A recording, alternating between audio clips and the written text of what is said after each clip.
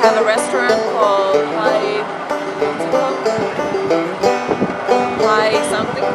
Just had a little lunch at the restaurant, whatever it is called. And uh, it's pretty cold up here. It's about 30 degrees less.